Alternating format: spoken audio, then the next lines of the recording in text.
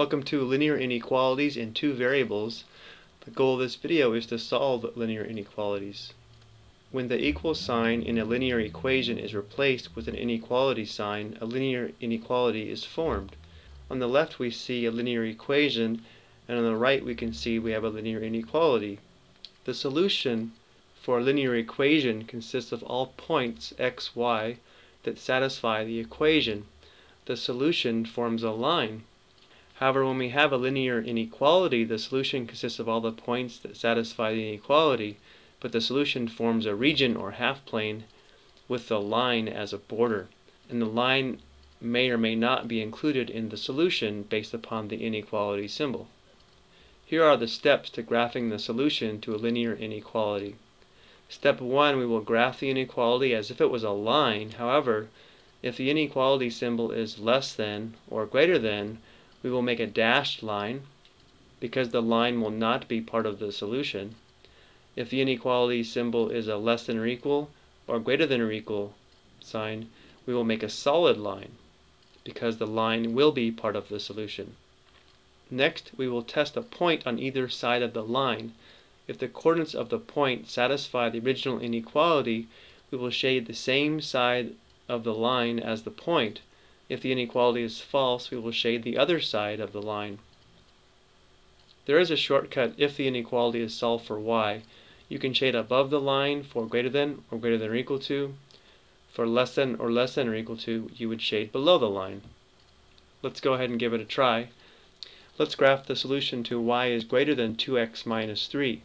So step 1, we are going to graph the line y equals 2x minus 3 but it will be a dashed line because y is not equal to 2x minus 3, it's only greater than.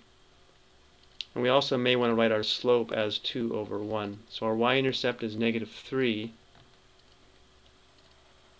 And from here we'll go up 2, right 1 several times to find additional points.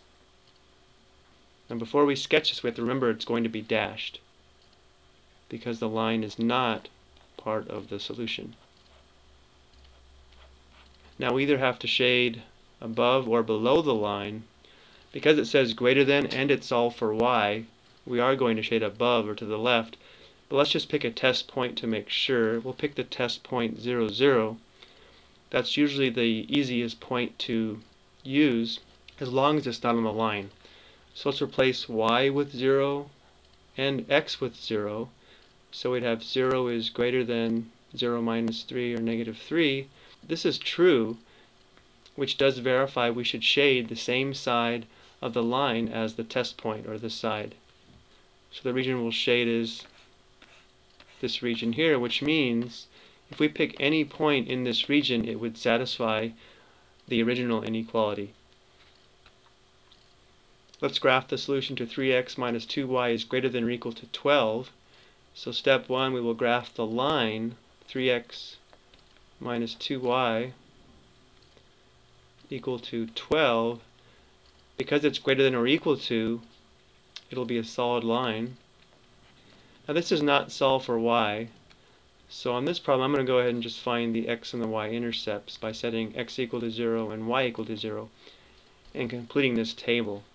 So if we let x equal 0, we would have negative 2y equal to 12 dividing by negative 2 we'd have a y-intercept of negative 6. Now, we'll set y equal to 0, so this would be 0. We'd have 3x equals 12, dividing by 3, x equals 4. Let's plot these two points. Now 0, negative 6 is off this grid by one unit, so I'm going to approximate the point to be there. 4, 0 would be here, so our line will pass through these two points. I did find one more point just to make my graph more accurate. My line's a little bit off, but you get the idea. Because this is not solved for y, let's go ahead and pick a test point. Again, we'll choose 0, 0. So we'll sub in a 0 for x and a 0 for y, so the left side would be 0. And the question is, is true or false? Is 0 greater than or equal to 12, and that's false. So if this point is false, this entire half plane would be false. Therefore we want to shade the other half of the line. This is a great example of a problem where we don't shade above the line because we see a greater than or equal to inequality symbol that only works when it's solved for y, so I always like to pick a test point. Let's go ahead and try one more. Here we have x is less than negative 2, so we are going to graph x equals negative 2, but it will be dashed because the line is not part of the solution. Now this is one of those what I call special lines. It's going to be either horizontal or vertical. And if you can't remember, I always recommend making a t-table. This equation states x has to be equal to negative 2. It does not indicate anything about y, so y can be any value you wish. So maybe 0 and 1. So if we plot those two points, we'll know which line to graph. Negative 2, 0, negative 2, 1, now we can easily see it is going to be a vertical line, but it will be dashed.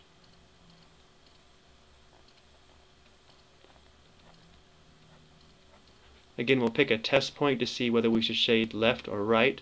We'll pick the point 0, 0, so we only need the x value of 0 for this inequality, and we have 0 is less than negative 2, which is actually false. So that means the right side is false, therefore we shade left.